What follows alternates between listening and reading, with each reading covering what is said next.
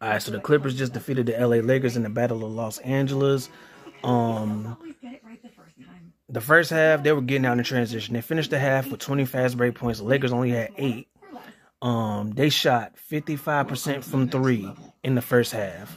They were just raining threes. Russell Westbrook and Kawhi Leonard they went off. Russell Westbrook had 12 points at the half. Russell um Kawhi Leonard he had 17 at the half. LeBron only had three points. He had more turnovers than points. He had four turnovers. Um, second half, the reserve stepped up for the Clippers. Um, Russ Westbrook barely even played in the second half. Norman Powell had 14 points in the third quarter. Hyland, he had 14 points in the fourth quarter. They led by as much as 27 points at one point in time. Now, the Lakers did try to make a comeback. LeBron, he finished the game with um 33 points, but to no avail. Anthony Davis, he was pretty much quiet. They were trapping him and doubling him for part of the game. But yeah, the Clippers, impressive win.